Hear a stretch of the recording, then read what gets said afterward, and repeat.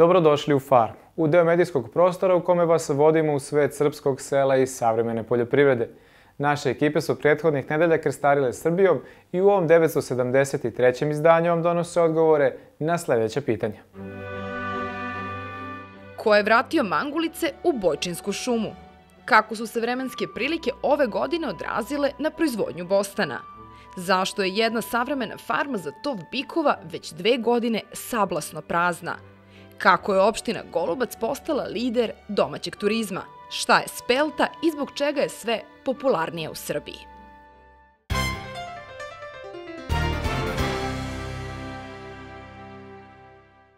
U prethodnom izdanju emisije Farma prikazali smo prilog o voćarstvu u opštini Osečina, tačnije berbu malina ili crvenog zlata kako su nekada nazivali to voće. Rekli smo da su agroekološki uslovi u ovom kraju naklonjeni pored voćarstva i stočarstvu. Postoje brojne farme krava, razvija se poslednjih godina i kozarstvo, ali je utisak da je ovčarstvo od uvek imalo primat.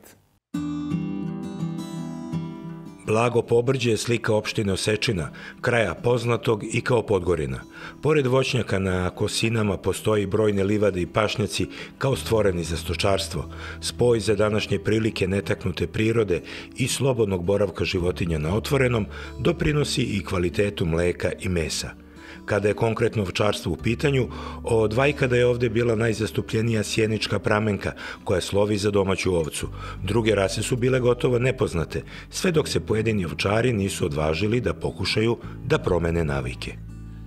Ja sam počeo tako malo sa dve ovce, tri, pa sam video da to e, nije loše, tako da sam onda otišao kod braće Milovanović u Matijevac i kupio jednog priplodnog ovnića I tako je to sve krenulo sa dve, tri, pa pet, pa deset.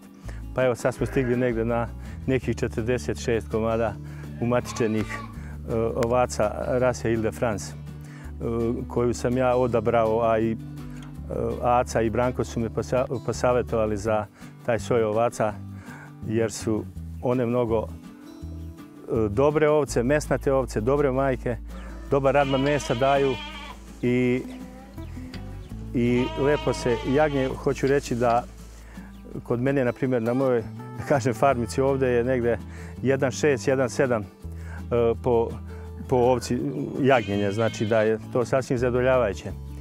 Odnosno, hoću reći kako se hrane, tako vam one i vraćaju. Znači, ako vi njih dobro hranite, dobro vakcinišete, dobru ispašu ako imaju, znači, doći će i rezultati, naravno. Ove godine sam ostavio jedno 15 opet priplodnih ovamo plotkinja, videli ste. Tako da će do godine, ako Bog da, stado vrati negdje do 60, do 60, oko 60, znači sa unovima za dalje ćemo videti. Od nekih ukrštenih rasa gde je dominirala pramenka, naš sagovornik je došao do Ile de rase koja je za njega idealna baš u ovakvim uslovima.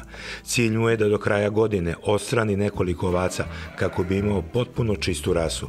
Posla ima i mora da se radi, a kada su financije u pitanju, ovčari i kozari su pretežno zadovoljni podrškom države, mada trenutna situacija nije zavidna. Što se tiče posticaja države i 7000 po ovci, svakako da znači, naravno, ali uvek može bolje, znači, ovaj, što, se ti, što se tiče toga. Mm, znači mnogo, ali znači ovde je trenutno sada 30 ovaca, ispod 30, ko nema, ne, znači ne prima subvencije preko 30 samo. Ovaj, tako da su mnogi ljudi s kojima sam ja ovde baš bio u kontaktu i koji su htjeli kupiti od mene, dosta je njih i odustalo. Znači treba izvojiti neka, nisu ni mala sredstva, narod je malo vespario, tako da ovaj, za sad je tako. Što se tiče cene, tržišne cene sada ovde, ja od pamtim, nije bila ovako niska cena što se tiče klanja jaganjaca. Što se tiče ovako kao umatičenja, tu i tamo može da se kaže da nije nešto, nije tako loše ovaj. Sad, znači, što bih ja rekao u prevodu, kupa, odnos kupca, prodavca, kako se dvojica dogovore, ali za sad nije loše. Znači, ja nisam toliko do sad bio, da kažem, kod tih klaničara, ali sada vidjet ću šta će biti u narednom periodu. Možda će se Možda ću ja nešto morati da dam na klanicu. Što se tiče uvek ima, ne može sve ići za priplod, znači mora nešto biti i za klanje. Ile de France je mesnata ovca sa brzim prirastom i zbog toga je pogodna baš za tov i za prodaju u klanicama. Međutim, kod nas se pretežno traže jagnjad i to za ražanj, a u mesarama ne postoji, pored piletine, svinjetine i junetine, ponuda i ovčetine, pa cene i nisu zadovoljavajuće. Prodaja za priplod u matičani grla je, kao što smo čuli, daleko bolja matična služba ovde nedaleko 16 u Peckoj. Zadovoljan sam na njih, sa njima sarađujem, oni mi održavaju to vode, tako da do sad nema nikakvih problema. Dobri su oni, dobar sam ja prema njima, tako da i ovom prilikom pomenuo ovde još i sve matične službe veterinarsku ambulantu ZOVET, doktora Đure Belća, ovaj, e, e, koji je direktor te veterinarske stanice i njegovo osoblje, koji znači sa njima znači sarađujem, oni održavaju ovde, vakcinišu, vakcinišu i sve ostalo što treba e, potrebno daju. Tako zadovoljan sam i sa njima. Imamo dobru saradnju. Ovce su zdrave, ješne, koriste svaku priliku da izađu i pokose livadu koju su već odavno dobrano izravnali. Međutim, osim paše potrebno je spremiti i neka druga hraniva. Već je rečeno da od ishrane mnogo zavisi.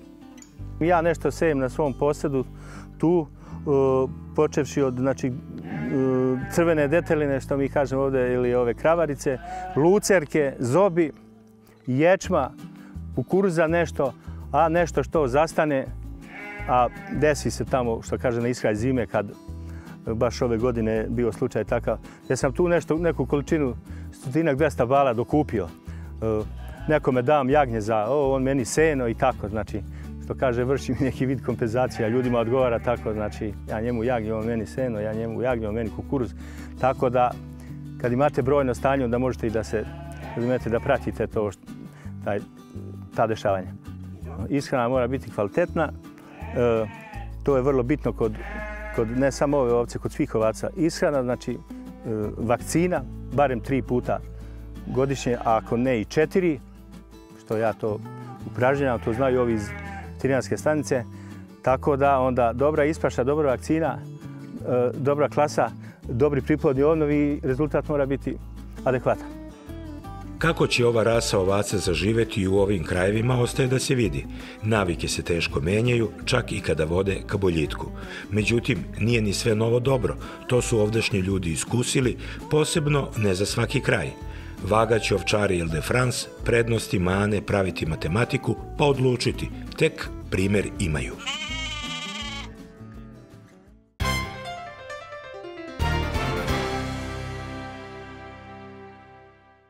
Današnju epizodu Farme nastavljamo nedaleko od glavnog grada, tamo gde se, zahvaljujući entuzijazmu jednog čoveka, prirodni i genetski resursi ponovo cene i gde se autentični duh starog Srema osjeća u vazduhu. Idemo tamo di vreme stane, zato ostanite sa nama.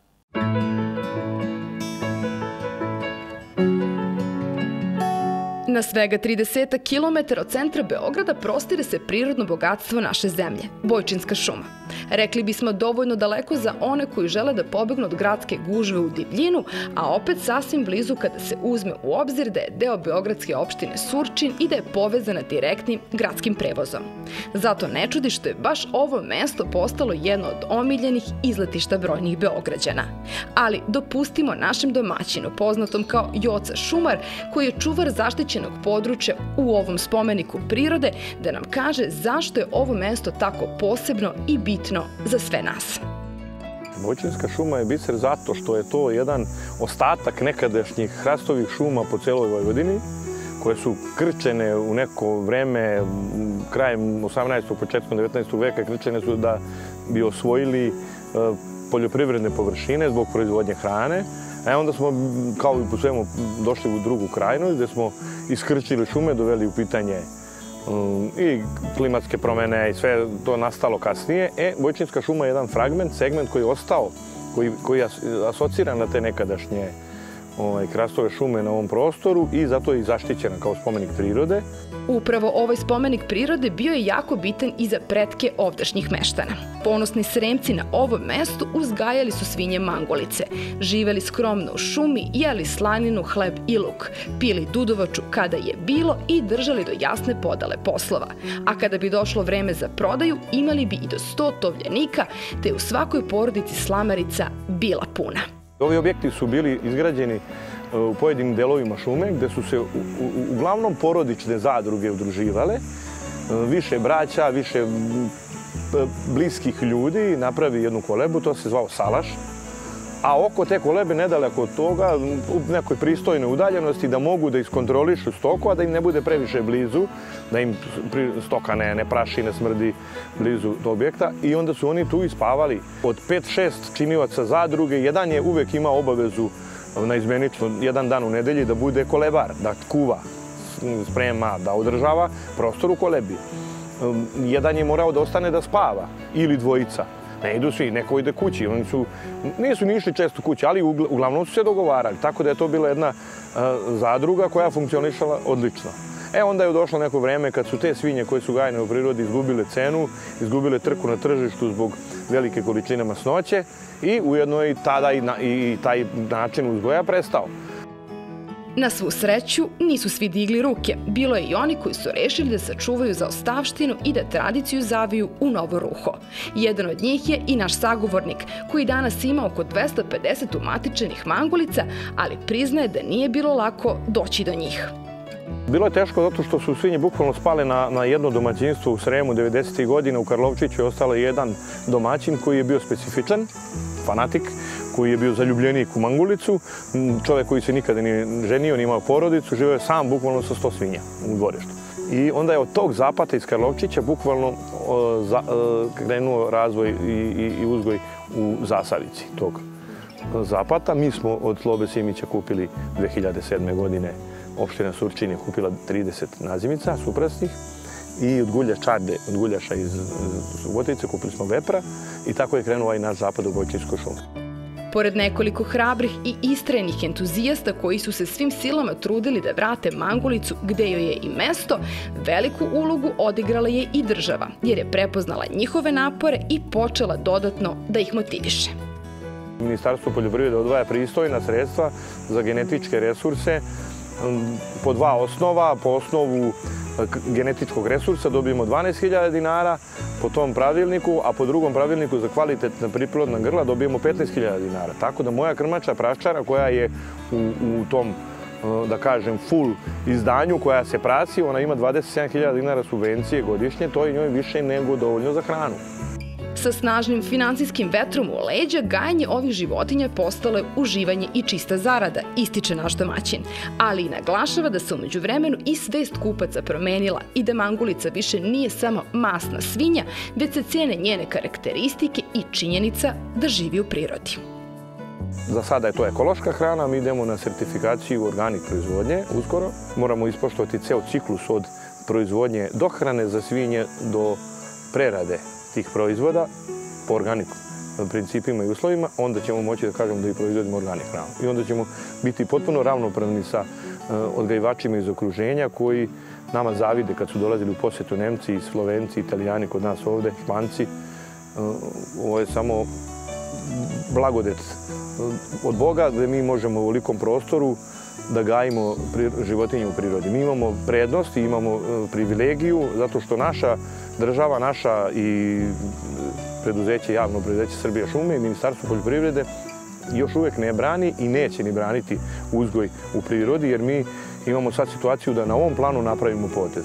Svuda je to već negde redukovano, šume su malo izolovane, nije dozvoljao im da, da gaje u prirodi stoku i oni nemaju uslove kao što mi imamo. I mi upravo u tome vidimo šansu da iskoristimo taj moment da se razvije e, broj grla, broj odgajivača koji će moći da budu Uh, održivi, da mogu da gaje te životinje, a mi sad gradimo i preradu mesa, mali pogon za preradu mesa odgajenih uh, životinja u prirodi i to će se isto izvojiti kao, kao premium proizvod. Sa pogonom za preradu i kooperantima, stočarima koji su prepoznali viziju gospodina Jovana, stvara se priča o kojoj će se još više i glasnije govoriti, sigurni smo. A jedan od najbitnijih načina promocije ideje o očuvanju prirodnih i genetskih resursa je rad restorana Bojčinska koleba, koji je uvek pun gurmana i ljubitelja prirode. Upravo na ovom mestu svi mogu da se upoznaju sa poznatom sremskom kuhinjom i proizvodima na koje su posebno ponosni. Tu je najvažnija slanina, sa veliko S. Pre jedno 5-6 godina sam se i ja uverio da je, da je pobeda sa promocijom slanine um, došla, jer je čovjek vodi dete za ruku i kaže, sine, da te vodi tata da probaš sapunjaru. Kad je to rekao, ja sam shvatio da je to to. Jer ti um, urbanom jednom potrošaču da ponudiš pre deseta godina belu slaninu bez imalo mesa, to je bilo uvreda. Sada je to in. Znači, mi smo uspeli. Šunka od mangulice koju ćemo da zaštitimo, idemo na tu sertifikaciju kao zaštite geografskog porekla, jer šunka od mangulice na ovim prostorima je naš domaći proizvod. Šunka koja je 30% sadrži e, slaninu ispod kože, cela noga sa slanica kožom, bez, bez odvajanja slanine. Bukvalno je autentična i, i, i da može da parira pata negri španskoj iberijskoj svinji. Jer ista, isti je fazon, to je stara rasa svinja koja ima te intermuskularne masti koje su protkale meso. Prilikom fermentacije dve do tri godine ona treba da ostoji. Ta masnoća iskomunicira kroz kroz mesno, to, to mišićno tkivo i ti dobiješ jedan proizvod, kažu kad, kad, kad se stisne šunka zasečena, ona mora da se znoji. Ta fina masnoća izlazi iz mesa. E onda je, to je vrhunski kvalitet. To mangulice imaju u izobilju. To bi trebao da bude brend. Kobasica normalno, kulen, Sve proizvode možete poneti i sa sobom. Na izlazu iz restorana nalazi se dućan u kojem ste u mogućnosti da kupite sve od mangulice. Autentični suveniri iz Bojčinske šume nema šta. A ako ste nakon ozbiljne hrane spremni za malo avanture, tu je konjički klub koji tokom cele godine radi i čeka ljubitelje prirode. Konjički klub ima veliki broj programa koji se razvijaju iz godine u godinu i svake godine dopunjujemo nečim novim. E, primarno smo imali školu jahanja, englesku školu jahanja, sportskog jahanja za decu i odrasle i vremeno smo to počeli da širimo i na druge programe. Eh, imamo programe za decu koje su mlađeg uzrasta od 4 pa do 9 godina koji su suviše mladi za, za školu jahanja, ali opet deca vole konje i treba da borave u prirodi i zbog toga smo za njih eh, pripremili i otvorili posebne programe prilagođene uzrastu. Imamo program terapiju s pomoć konja, imamo program rek rekreativnog jahanja, jahanja u prirodi, za turiste i za goste restorana, bilo da su potpuni početnici, da treba neko da ih prošeta na konju, da prvi put dožive taj susret sa konjem, eh, da pokušaju da jašu, bilo da su ljudi koji već znaju da jašu iz drugih klubova koji dođe ovde na terensko jahanje, jer je priroda stvarno jako lepa i, i poseban je i doživlja jahati konja kroz, kroz prirodu. Mislimo da je jasno zbog čega je baš ovo mesto postalo nezobilazna stanica za sve koji bi da se upoznaju sa autentičnom sremskom kuhinjom, arhitekturom, istorijom i srdačnim domaćinima poput gospodina Jovana, koji nastavlja kao i do sada hrabro i vredno da promoviše najvrednije resurse. Budite i vi deo ove priče i ne propustite da posetite mesto di vreme stane. Bojčinska koleba i Bojčinska šuma vas čekaju.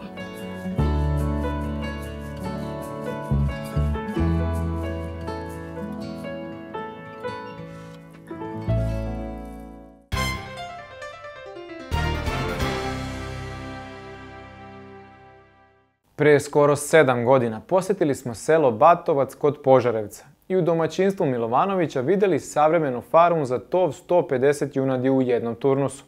Domaćini su imali još uvek optimizma, ali je u pojedinim izjavama provejavala sumnja u opstanak tog posla. Vreme je sumnju potvrdilo. Danas ta farma deluje sablasno, jer već treću godinu ni jedno tele nije ušlo u tov. Najporaznije za dve starije generacije Milovanovića je činjenica da je njihov najmlađi izdanak u potrazi za poslom završio u Americi. Domaćinstvo Milovanovića izgleda kao u bajci. Čisto, uređeno dvorište, puno cveća, okrečane fasade, sada tokom toplih letnjih dana i bazen za decu. Očigledno je da ovde žive uredni ljudi koji žele da se njihov domaćinski odnos vidi na svakom koraku, a ne samo u proizvodnji kojom su se bavili. Pre sedam godina objekat je bio pun, pet boksova u svakom po 30 grla, junad u kondiciji, rezerve hrane na maksimumu i sve je upućivalo na jedan skladan, već davno uspostavljen tok stvari u poslu. Danas je farma prazna, ako izuzmemo zalutalog vepra koji se sa par kokošaka sklonio u debelu hladovinu. Nailazimo na ostatke senaže, silaže i bale slame, već potamnele od zuba vremena. Sve deluje sablasno. Napravili smo objekat za to, za 150 ovaj, grla, međutim, i to je, i to je ovaj, radilo neki 10 godina i počelo sve manje i manje da se bude isplatljivo, tako da smo već dve godine kako smo stali i ne radimo. Objekat je napravljen kada je sin našeg sagovornika postao punoletan, a prethodno završio za veterinarskog tehničara i izrazio jasnu volju da želi sa ocem da se bavi tovom. Međutim, posle nešto više od 10 godina upornih pokušaja, predlog da prestanu da rade je stigao baš od njega. Zadnje dve godine, pre nego što će da prestanemo da radimo, videli smo da već odlazimo u minusu, znači ne poklapamo se sa troškovima koji, koji nas slede svaki dan i, i on je rekao, tata daj da mi to prestanemo, kaže ja ću da, da ode negde, da radim negde na stranu, kaže da izdržavamo porodicu i tako, a kaže od ovog posla da dignemo ruke i ne možemo, ne možemo. I nažalost, eto, treća godina, otišao je u Americi na kruizeru, radi kao mesar, Žao mi je, odvojan je od porodice, odvojan je od, od nas i ja sam, kad sam pravio to, ja sam mislio da, to je jedna fabrika, jedna, jedna za, celu porodicu, da živimo tu svi zajedno. Nažalost, nije tako kako sam zamislio i to me je mnogo žao i to me je toliko potrebilo i, i na neki način me je oskrnavilo da ne mogu da, da zamislim da i teško mi je da prođem tu, da vidim da je to prazno. Eto, to je ta priča, verujte. Mislim, onako najiskrenije. Ali nije to sam kod mene. Nije to sam kod mene slučaj. To je na više mjesta još slučaj. Ostala, otišla su deca, ostali smo mi. Ja sam već čovjek i u godinama. Deću sad ja idem, tu ću da tu sam, desam i to sve. Ali mladim ljudima ne mogu da staneš na, na da kažeš da je imao, da je imao koristi, da on sigurno ne bi otišao da se odvoji od njegovu decu, njegove porodici od nas. I tako. Unuci, unuk mi je sad jedan, sad će pođe u šesti razred, a unuka mi u prvi razred polazi. Deca velika rastu bez roditelja, ali nažalost tako. A gde su razlozi za takav drastičan potez? Cena je i ranije bila stalna nepoznanica. Tov traje bar 13 meseci, pa i kada se u posao uđe u vreme neke pristojne cene, ne postoje garancije da će za godinu dana ostati ta cena i da kilogram žive vage neće još dodatno pasti. Problem je u tome što je klanična industrija kod nas je dato i odrešeno ruke, znači oni određuju sami cenu će, koliko će da imaju oni maržu, znači oni su odredili njima da imaju dobru maržu, a nama eto šta ostane, iako ostane nešto. To je, to je istina. Drugo, ovaj, e, je e, vrlo, vrlo malo je bilo 20, 2 i 22 i 30. To je vrlo malo bilo, možda jednu godinu, dve, sve posebno stalo 2 i ispod 2 što da, u današnje vreme 1,60 i 1,70, to je stvarno ponižavajuće. Proizvođači rade više od godinu dana da izbace sa farme jedan turnus hrane, poje i leče junad, pripremaju hranu po pravilu sa svojih njiva za tov i tako štede, a onda posle 400 dana svakodnevnog rada dođu u situaciju da ako i zarade nešto, to bude iznos nedostojan života čoveka u 21. veku.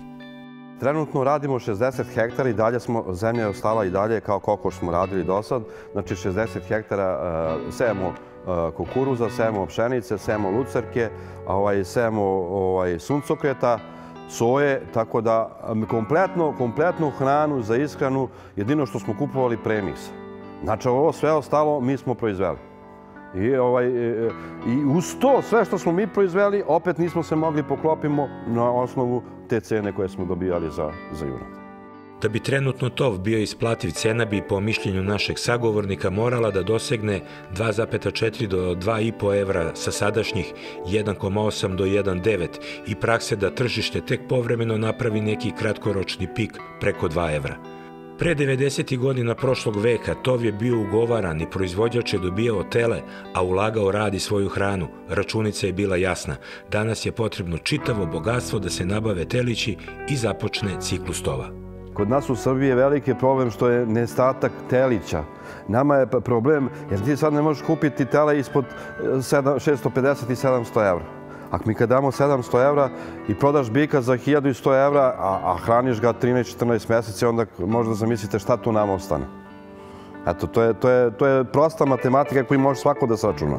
Ipak mislim da tu ipak država treba da stane iza, nas. Ako vidi neko i hoće da vidi ovo, a nije to samo kod mene, nego na mnogo mjesta u Srbiji tako stoju prazne, prazne, prazne, prazni objekti koji za to, ono, Srbija, da bi tela da izvozi meso i, i da, da, za neke količine koje ugovara i pričamo o Kini, pričamo o, o, o Rusiji, pričamo o Turskoj, oni bi trebali da zađu po objektima i da pogledaju i kažu gospodine, vi toliko možda ono, evo vama, Telić, ja nemam sad finansije ni sredstva da napunim sada 150 komada, treba preko 60.000 evra. Mi to ne možemo.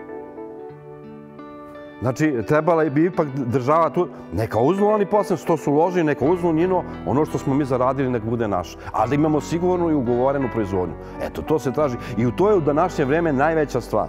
I najveći problem je sad trenutno nam. Da nije to, to bi bilo sad puno. Kad imate ugovorenu proizvodnju, kad imate ugovorenu proizvodnju i kad imate, i kad imate siguran plasman, onda vi znate oma iz početka za, koliko vi, za koje novce vi radite.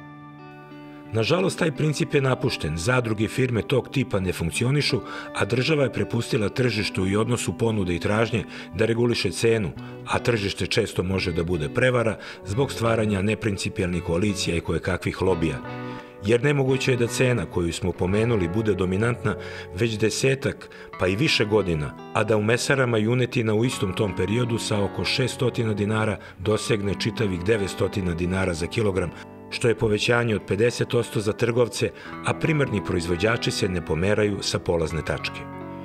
Ima ova država umnih ljudi, ljudi od struke, koji bi mogli da osmisle strategiju da se stvari bitno promene u ovoj oblasti. Ovako nećemo daleko dogurati ni proizvođači, ni klaničari, ni trgovci, pa ni država. A onda džabe nam kvote za izvoz u Evropsku uniju i svi dogovori napravljeni u poslednje dve godine sa Turskom i Kinom.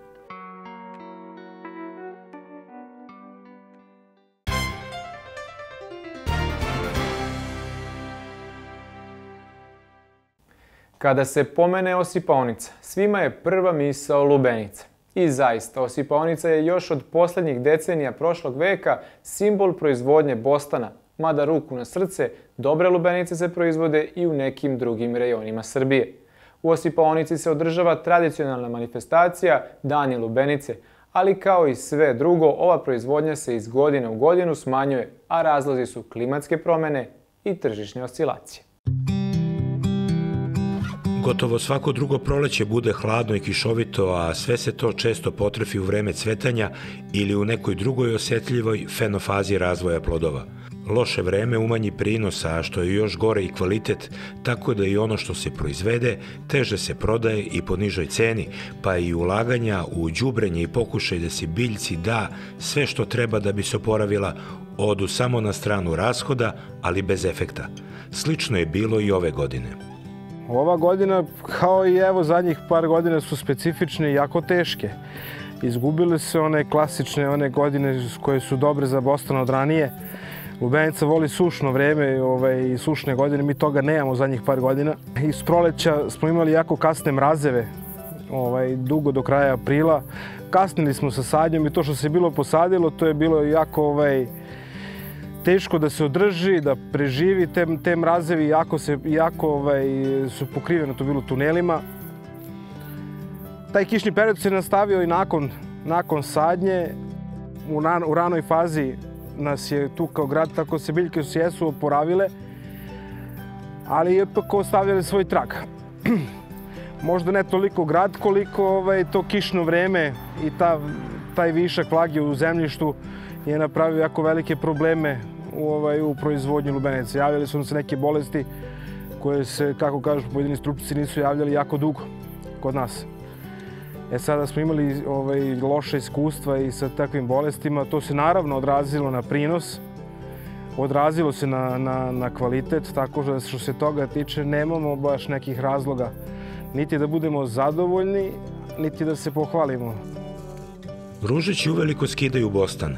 Jedna njiva je već proređena što se i lepo vidi. Približavaju se kraju parcele.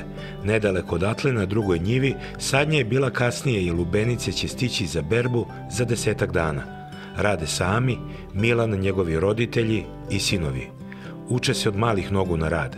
Radne snage niti ima, niti bi mogli da plate sa ovom cenom Bostana. Mi uvek kad je pristojno neko godinu u nekim optimalnim uslovima, neki dobar, da kažemo, rod je recimo između 40 i 50 tona. To je onako, da kažemo, dobar rod.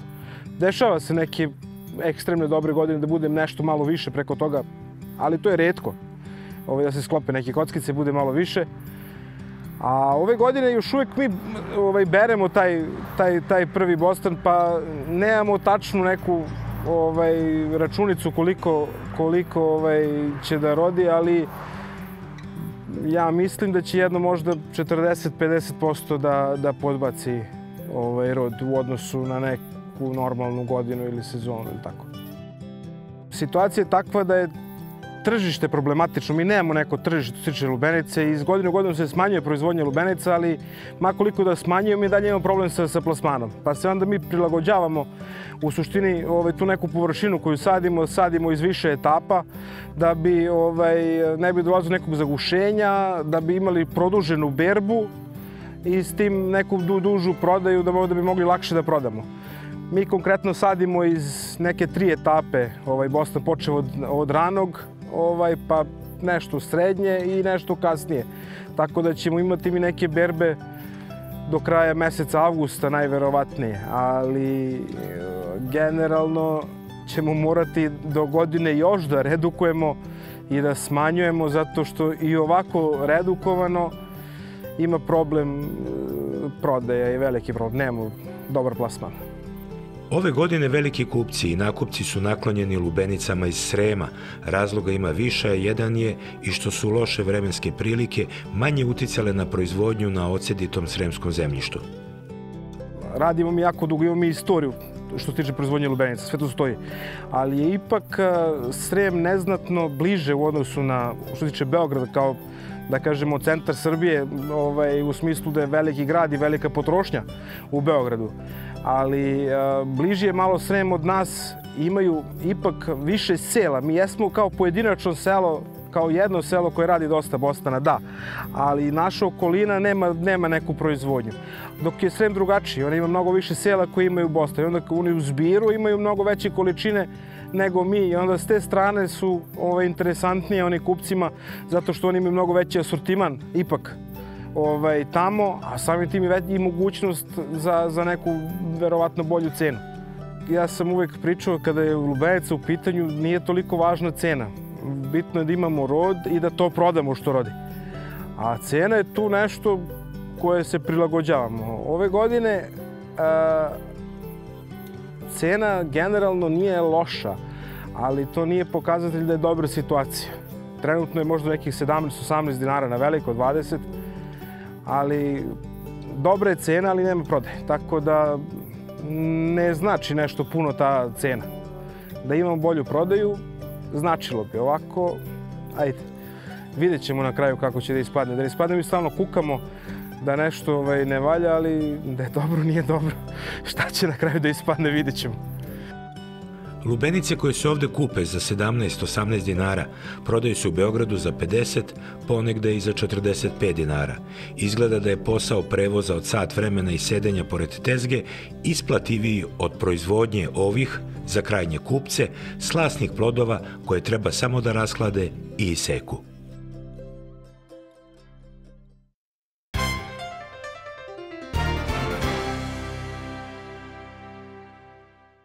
Ove nedelje nastavljamo tamo gde smo stali prošli put i vodimo vas ponovo u opštinu Golubac. Ostanite sa nama i vidjet ćete zbog čega ovog leta ne smete da zaobiđete taj kraj naše zemlje.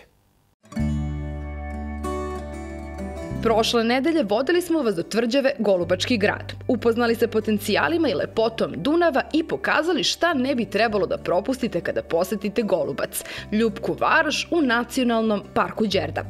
Naše putešestvije nastavljamo i ove nedelje i prvo vas vodimo do nadaleko poznate svetinje manastira Tumane, koji se nalazi u podnožju Golubačkih planina na levoj obali Tumanske reke.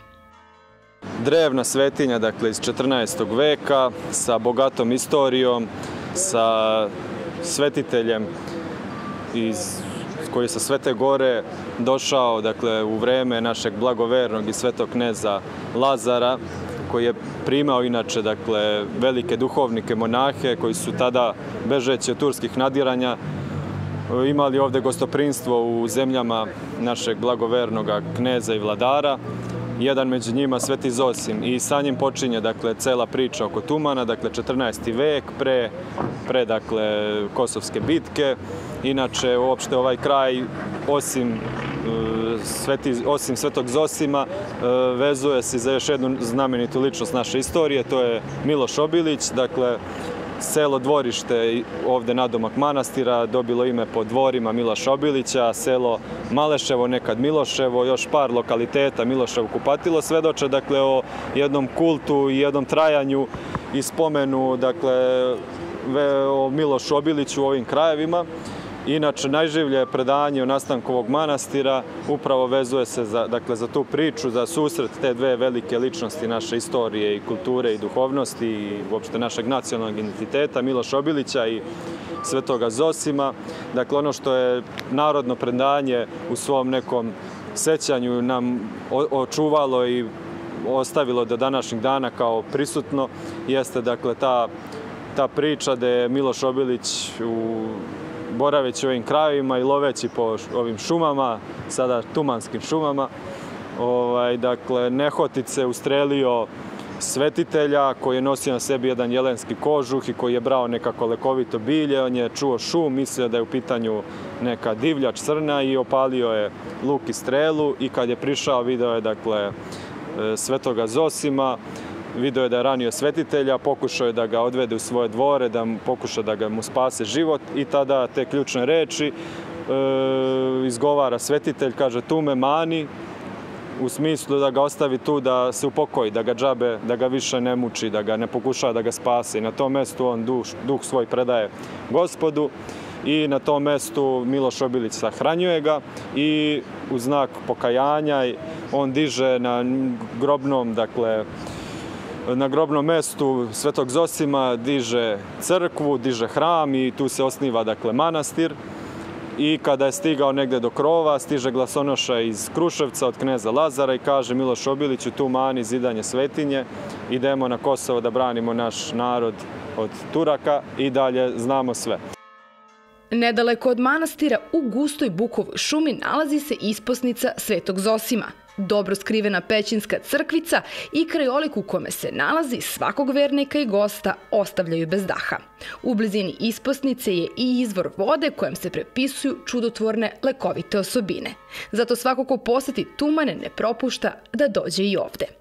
A kada se puni utisaka, rashlađeni i opušteni vrate do manastira, bit će posluženi u gostoprimnici, a za to vreme mališani mogu da se zabavljaju u minizo vrtu narod kad dođe prevali veliki put, pomoli se u crkvi, upali sveće i taj, taj neki duhovni sadržaj e, obavi. Međutim, u ovom ambijentu ljudi vole da se zadrže, te, te stoga mi smo im omogućili da izvan porte manastira, preko puta, preko reke, staru ovaj, vodenicu smo preuredili, ovaj, da to bude jedna gostionica gde ljudi mogu da sednu, da se opuste, da provedu neko vreme u ovom prelepom ambijentu, gledaju, slušaju rečicu, ovaj, tu mogu da budu posluženi od nekih domaćih naših proizvoda. Nama je u interesu da se čovek koji dođe u manastir oseti, ugo, oseti ugošćenim i dobrodošlim i da se ponovo vrati.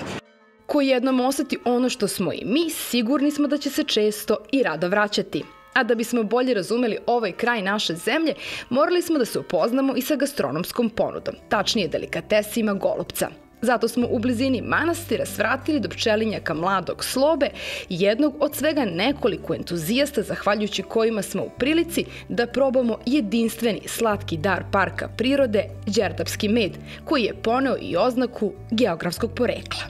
On se proizvodi znači e, mešavinom prvog i drugog vrcanja. Prvo vrcanje je znači vrcanje e, polenovih zrnaca bagrema, a drugo lipe i livatskog bilja. Konkretno u đerdapskom medu ima preko 80 različitih vrsta i velika većina toga su lekovite biljke. Što mu daje onako tamnu boju, e, specifičan ukus, znači ima aroma lipe i livade preovladava, ali onako da kažem baš je specifičan. Ovaj naš proizvod, đerdapski med, možete da nabavite u bilo kojoj prodavnici u Golubcu. Znači, to je bila neka prva ideja, znači da sve naše prodavnice, suvenirice, znači sadrže taj naš proizvod i njega možete da kupite u Golubcu. Čuli ste, ne zaboravite da kada krenete kući ponesete i teglicu đerdapskog meda, jedinstveni suvenir koji će vas slatko i dugo podsjećati na golubac.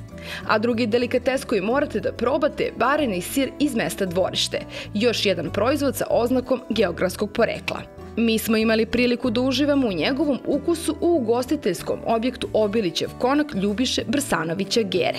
Sjajni domaćini na sto su iznosili jelo za jelo, svako rapsodija ukusa za sebe.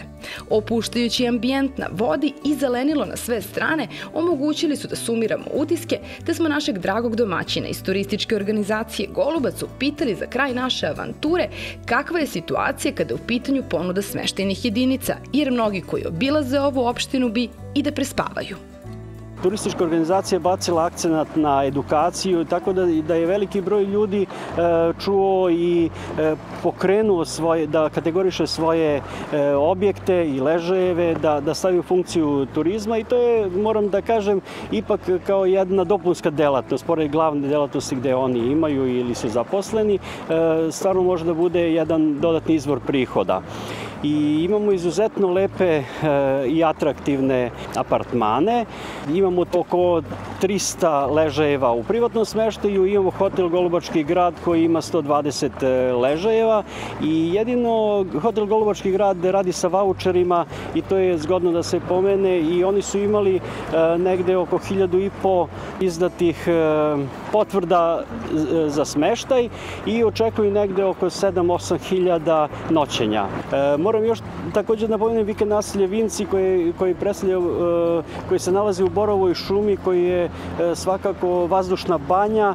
Imamo oko 2000 vikendica Naravno, vlasnici tih vikendica iznajmljuju taj, e, taj prostor, e, da li prijateljima, rođacima i to predstavlja neevidentirani e, broj ležajeva na koji mi nemamo utica i kad kažemo da imamo oko 400 ležajeva, to ne izgleda ozbiljno, ali svakako se to povećava, ali moramo da imamo na umu i da imamo to veliko vikend naselje od 2000 vikendica.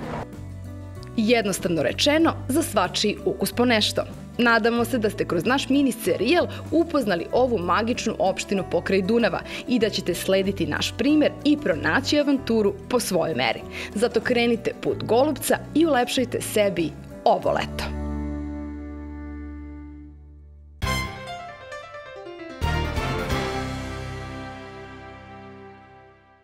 Emisiju završavamo sad već redovnom rubrikom Vremeplov i vraćamo se u 2016. godinu Idemo u Bačku i prisjećamo se reportaže u kojoj je jedan bačvanin sve nade polagao u izuzetno specifičnu ratarsku kulturu.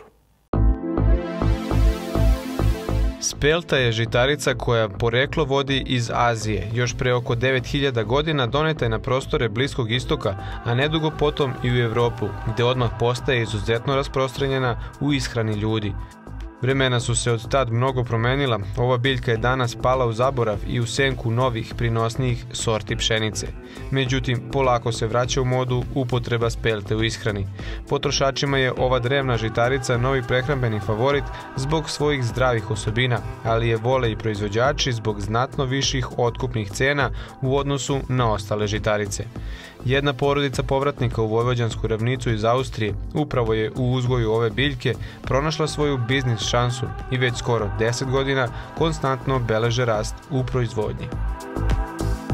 Pa mi smo u Austriji se hranili tako malo zdravije, pa smo išli na speltu, pa smo videli da imamo toga koristi, bili smo onako zdraviji, veseliji i malo smo se zanimali, tako pravili smo hleba toga i to. I onda smo shvatili deca isto da su puno otpornija, puno bavili se sportom i imali su neke rezultate dobro, pa smo mi shvatili u stvari da od hrane sve počinje. Znači, spelte prirodna, žitarica. Od 2008. smo se vratili, od 2006. smo sejali da bi to seme razmnožili i sad radimo oko 50 hektara. Gospodin Jeftić nam je rekao da su na početku biznisa sa speltom imali problema sa plasmanom zato što većina stanovnika Srbije nije znala ništa o njenoj nutritivnoj vrednosti. Vremenom i uz porast informisanosti potrošača, ova drevna žitarica počela je da dobija sve veći broj poklonika. Što se tiče bolesti, ona je otporna pošto ima ljusko na sebi i ta ljuska nju štiti od insekata, od svega onda je višlja od drugih žitarice, pa zaguši, onako zatvori e, pre zemlji zbog korise i tako da uništi te trave što su tu. Ona ima e, više proteina, puno je zdravija od ovih drugih, zato što je prirodna. Onda nemam potrebe, svi ti otrovi što su u vazduhu ostanu u ljusci. Ljuska se skide mehanički, znači ostane nam čisto zdravo zrno i ima puno, je vrednije od drugih žitarica, ima više e, neki vitamina, ima onda koji su alergični na gluten mogu da je, da je koriste, mogu da je jedu. Kako smo i čuli, nema mnogo problema u proizvodnji ove biljke, čak je i mnogo jeftinija od uzgoja drugih žitarica jer nema mnogo bolesti pa nema ni korišćenja hemije. Glavni problem nastaje posle žetve, kada treba očistiti zrno od ljuske. Zbog potrebe za profesionalnim ljuštilicama, uglavnom potencijalni proizvođači i odustaju od ove proizvodnje. Mi smo uh, kupili ljuštilice i to prave ljuštilice, nije ništa improvizovano, koje nju odrade, prerade, ali je najteže ljusku skinuti. Jer toliko ima opne i toliko ima ljuske na sebi to je najteža stvar kod spelte. Zato su ljudi odustali od nje, bilo im jednostavnije uh, i svako je mogu da proizvede pšenicu i da je tako plasira. Međutim, spelta ne vredi ništa dok se ne očisti. Ne možete napraviti brašno od nje, ne može ništa. Imamo mlinove koji su uh, na kamen, koji se uh, polako, bez neke termičke obrade, znači nema ništa industrijski, nego na, na kamen polako se melje. Imamo nekoliko tih mašina za doradu i preradu i imamo više proizvoda od spelte. I onda smo došli da imamo neko svoje tržište, tu, to je sad sve više, više se traži. Postoje zapisi iz Rimskog carstva gde su vojnici u ratovima svuda sa sobom nosili zrneblje spelte, te u slučaju velikih napora ili gladi prilikom marševa, oni su jeli po šačicu spelte koja ih je okrepljivala i davala im snagu, jer posjeduje sve vitamine potrebne čoveku. Ona je drugačija slatka u ukusima i uh, ima nešto posebno, sad ja ne, ne mogu to baš tako da opišem sad šta je razgled između ovog i onog, pošto mi ne jedemo integralno brašno drugo osim spelte i, i toga, ali je ovaj, lakše za probavu. Znači, organizam, kad se spelt unese organizam, kod drugi pšenica ne može da se izvuče sve iz, a, iz tog zrna, iz biljke, a ona se najlakše razgradi. Tako da imate naj, na, a, najlakše je za probavu, za sve. Od pre par godina Jeftići su na svoje parcele ubacili još jednu drevnu biljku sa kojom su uspeli da povećaju i paletu proizvoda. Kamut je iz Egipta isto jedna žitarica koja je već bila zaboravljena, ne samo kod nas, nego i na zapadu, pa su onda u iskopinama našli neku određenu neka semena i onda kad su se vratili u prošlost, shvatili da je to kamut i to je klijevo zrno bilo posle par hiljada godina. Kamut je specifičan, on je sličan spelti, nema ljusko na sebi, ne mora da se ljušti, ali je tvrđe zrno i za testenine je najbolji, da kažem. Kad probaju, svi koji uzimaju naše proizvode spelto i ostalo, sve novo što imamo, oni naravno uzmu za probu i šta ja znam i oni su oduševljeni. E sad, ove godine smo imali malo za tržište kamuta, pošto smo trebali da zasejemo više semena. Mi smo od 3 kg počeli da razmnožavamo seme i sad imamo oko 3 hektara toga, zato, nismo, zato smo malo ukinuli na tržištu da bi imali semena, da bi mogli da malo to proširimo. Ono što je našem sagovorniku najbitnije u proizvodnji jeste da ima kvalitetnu robu. Zato je odlučio da odgovara za svaki segment u proizvodnji te sam proizvodi i seme. Takođe garantuje da su svi produkti iz njihove palete, a paleta je bogata od raznih vrsta brašna, preko mekinja, griza do testenina, 100% od spelte ili kamuta, te nema igrarija sa dodavanjem jeftinijih žitarica kako bi se uštedelo. Na taj način jeftići već godinama uspevaju da zadrže poverenje kupaca.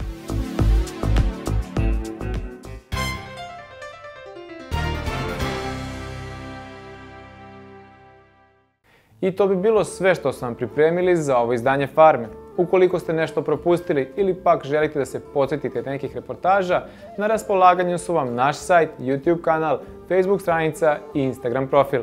Do narednog viđenja želimo vam sve najbolje.